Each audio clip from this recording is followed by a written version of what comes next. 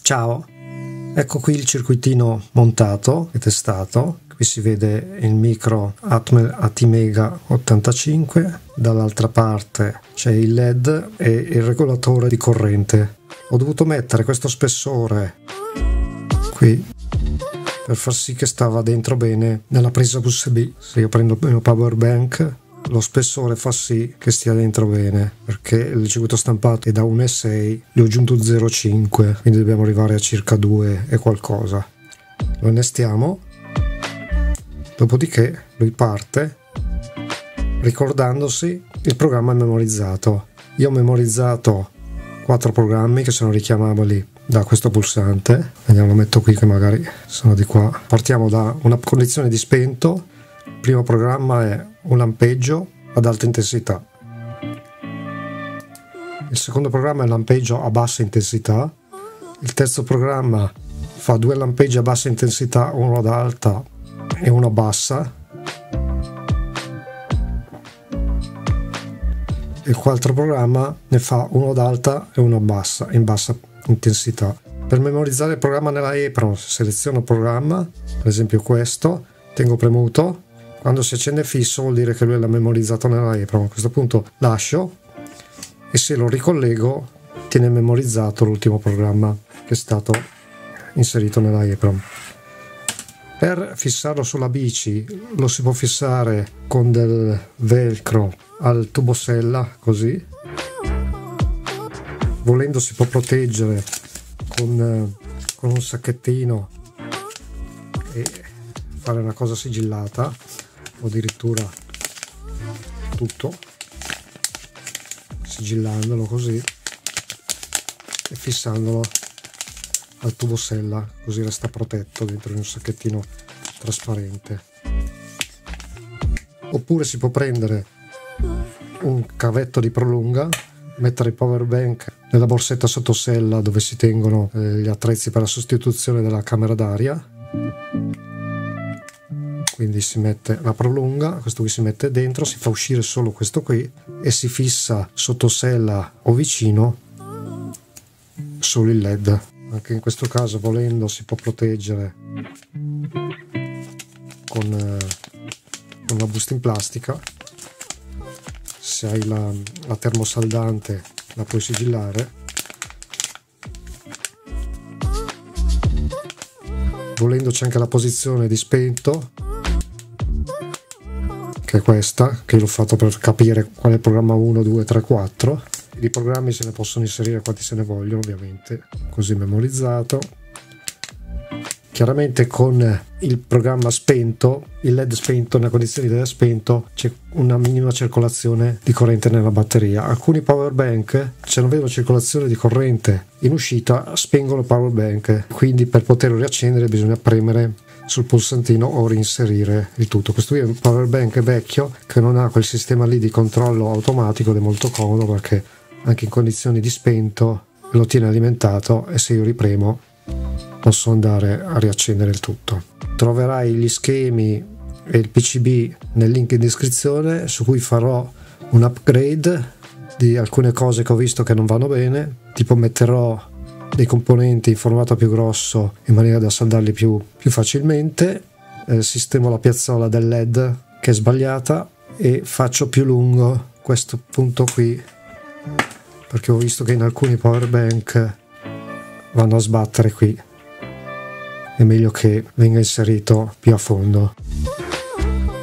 Torniamo al progetto su Isieda questa è già la versione 1.1 con le modifiche apportate rispetto al prototipo. Si può dire che è già una versione definitiva. Le migliorie fatte sono è stato spostato questo angolo di mezzo millimetro, è stato allargato il PCB e allungato, sono stati sostituiti tutti i componenti portati in 0805, il pulsantino non è corretto, non ho trovato footprint, non sono stato lì tanto a cercarlo, anche di qui sono stati cambiati i formati di questi componenti, ed è stato cambiato il pad del led della creeper che era sbagliato. Il resto è a posto. Lo schema era corretto. Ho solo cambiato il valore di queste due resistenze perché leggendo sul datasheet del CN5711 mi sono accorto che il valore minimo di R8 è 30k quindi la corrente minima deve essere 60 mA anche se io ho provato con 80-90k funziona lo stesso. Quindi il micro quando abilita l'integrato tramite il CE andrà in bassa corrente perché l'I7 viene fatto da questa resistenza. Quando gli arriva anche questa uscita dal micro viene posta in parallelo questa resistenza a questa e la corrente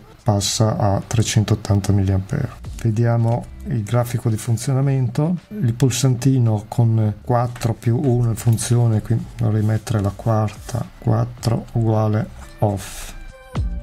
E poi riprende dallo zero. Nel caso dello zero ci sono due impulsi ad alta corrente, vengono buttati fuori 110 millisecondi on, 890 off e così va avanti in, in alta corrente, quindi a 380 mA, che vediamo qui. Nel modo 1 due impulsi di bassa corrente da 200 millisecondi, quindi da 60 mA. Il modo 2, che è quello che mi piace, che mi piace di più, sono 4 impulsi di cui i primi due da solo 20 millisecondi che sono impercettibili. Poi arriva un impulso ad alta corrente lunghissimo 200 millisecondi quindi è un flash fortissimo. Dopodiché ne arriva uno da 200 in bassa corrente e poi sta spento per più di mezzo secondo 600 millisecondi. In maniera che ci sono questi tre tre impulsi a bassa corrente e questo qui forte quindi fa un effetto molto bello. Quest'ultimo ha un impulso di alta corrente da 100 millisecondi, fa una pausa come questo e un impulso di 80 millisecondi, quindi sono tutti e quattro completamente diversi. Quindi l'alta corrente è 380, la bassa corrente è 60, il LED usato è questo qui, CRI, se vuoi approfondire puoi cercarlo con questo codice di datasheet della CRI. Vediamo brevemente il programma che ho fatto su Arduino, che è questo ho usato la libreria pin button per gestire il pulsante quindi l'impulso breve e l'impulso lungo e gestisce anche i rimbalzi del pulsante stesso e la libreria equadroprom assegno i pin l'input 0 sul pulsante l'output 1 e l'abilitazione del driver l'output 2 e l'alta corrente.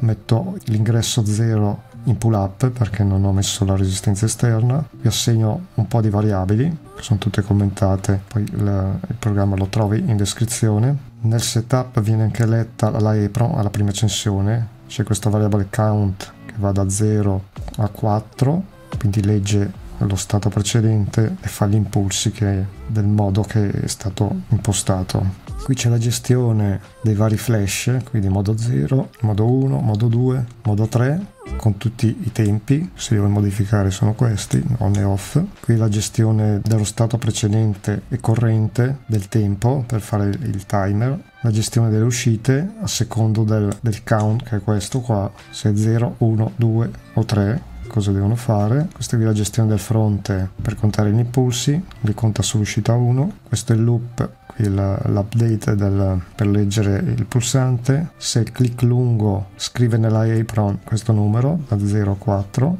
e accende l'uscita 1 fissa quando è passato il tempo lungo, quindi capisco che l'ha memorizzato. Incremento il contatore ogni volta che viene rilasciato il pulsante. Qui è la gestione dei conteggi. Se è 5, se maggiore, di 5, maggiore o uguale a 5 lo riporta a 0, infatti il 4 è off e così via. Se è 4 fa l'off, li mette all'off, all'off tutti e due. È un programma semplicissimo che è facile anche da modificare. Devi solo tirare dentro queste due librerie.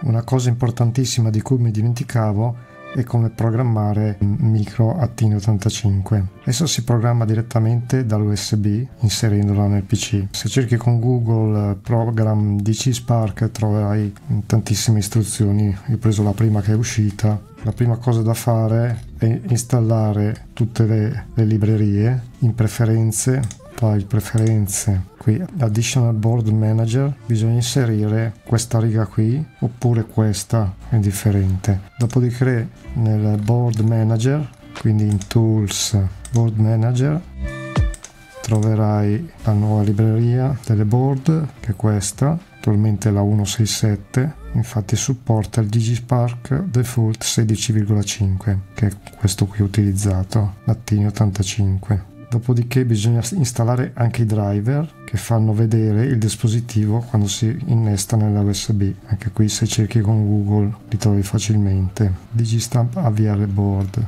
e li troverai installati come USB Digispark Bootloader. Poi bisogna selezionare in Tools Board, apparirà il Digistamp AVR Board, selezioni il primo, default 16,5 MHz. Si compila dopodiché il dispositivo va innestato solo quando lo dice plugin device. Infatti se io faccio un upload qua